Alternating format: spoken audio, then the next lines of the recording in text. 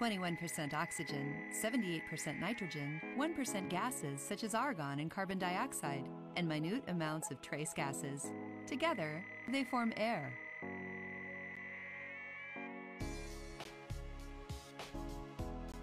Because of their low density, gases such as air can be compressed, unlike liquids. Compression forces the air molecules closer together, increasing the density. Air pressure can be expressed in pounds per square inch, or psi. The first way to compress air is by displacement. This means enclosing an amount of air and reducing its volume, like in a bicycle pump or a piston compressor. The air volume can be reduced in other ways as well, by rotating screws, gradually decreasing the space between them, or by tooth-type screws or scrolls. A second way to compress air is dynamic compression. Air is drawn into a rapidly rotating impeller and accelerates. The kinetic energy is then transformed into pressure as the air slows down by expansion. Compressed air is a useful resource in virtually every manufacturing process. It can produce motion and exert force, such as in pneumatically powered tools or machines. We then call it energy air. It's a main power source on many construction sites, as well as in remote locations, such as drill rigs or on ships. It powers braking systems and opens train doors. When air is part of a production process, we refer to it as active air. It conveys tons of powders, pellets, and grains. It's used to maintain pipelines and provides the pressure for cleaning and paint spraying.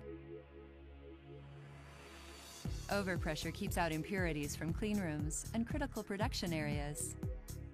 Compressed air is also a vital component in fermentation, combustion, liquefaction, and refrigeration. It's used for gas treatment or air separation. Because the gases forming air are not mixed chemically, they can be separated into oxygen, nitrogen, and argon. Compressed air also provides oxygen to water purification and blows plastics into shape. It helps patients breathe and drives precision tools in a medical environment.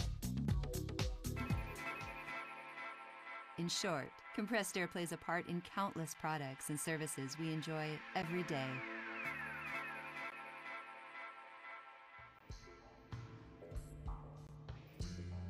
Air has a capacity to convey objects. It also conveys very small components such as solid particles, microorganisms, and water vapor.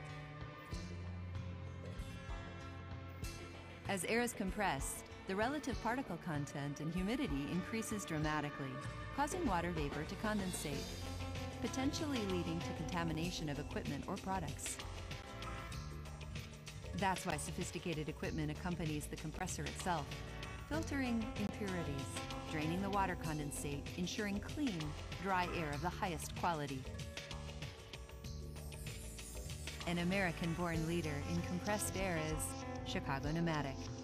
People, passion, performance.